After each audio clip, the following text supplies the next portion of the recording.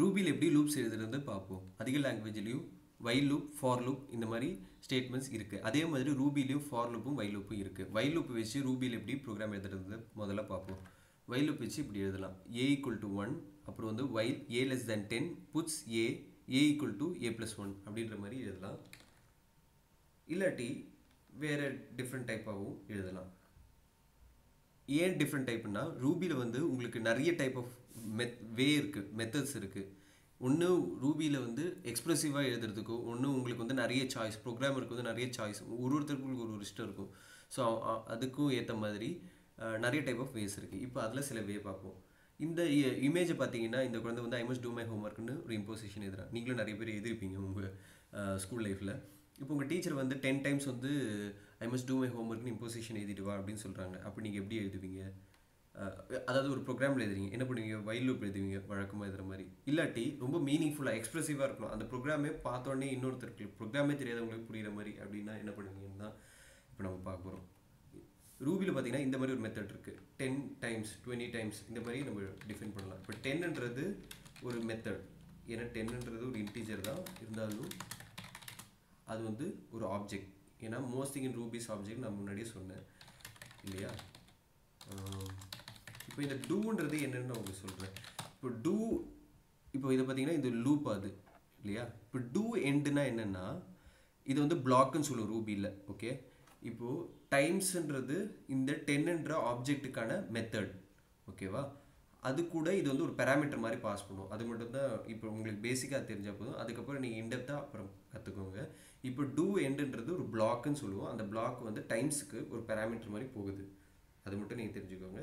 இப்போது ten times two எண்டுனா இந்த டைம்ஸ்ன்றது என்ன பண்ணணும்னா டென் டைம்ஸ்னால் டென் டைம்ஸ் வந்து அது லூப் ஆகும். அதுதான் பேசிக்கான இங்கே இருக்க ஃபங்க்ஷன் இதே லூப்பிங்கில் வந்து டிஃப்ரெண்ட் டைப் ஆஃப் லூப்பிங் இருக்குது for example ten dot up to twenty அப்படின்னு சொல்கிறேன் two puts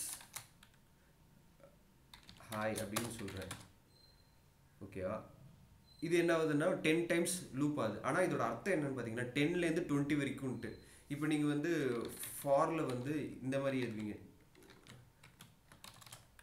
I equal to zero I less than ten அதாவது I ten I less than twenty I plus plus இந்த மாதிரிலாம் எழுதுவீங்க இல்லையா? அதுக்கு பதிலாக என்ன எழுதலன்னா அதுக்கு பதிலாக என்ன எழுதலாம்? Ten up to twenty do I puts I end என்னென்னு பார்த்தீங்கன்னு வச்சுக்கோங்களேன்.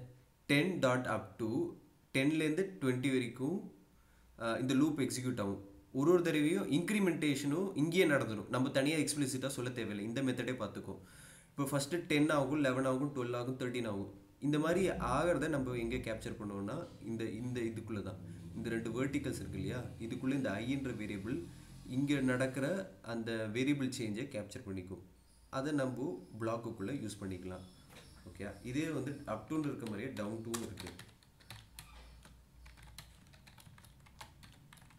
இப்போது இது வந்து டவுன் டூ இங்கே பார்த்தீங்கன்னா டுவெண்ட்டின்னு ஃபர்ஸ்ட் வருது அதுக்கப்புறம் நைன்டீன் எயிட்டீன் செவன்டீன் சிக்ஸ்டீன் அப்படின்னு மாறும். அந்த மாறுறதை வந்து ஐயில் கேப்சர் பண்ணியாச்சு அதை பிரிண்ட் பண்ணியாச்சு. இதுதான் டவுன் டூ இந்த மாதிரி நிறைய மெத்தட்ஸ் இருக்குது ரூபியில். உங்களுக்கு கன்வீனியண்ட்டான உங்களுக்கு ஈஸியஸ்டான மெத்தடை வந்து நீங்கள் சூஸ் பண்ணிக்கலாம். நபோ அடுத்த லெசன் போகும்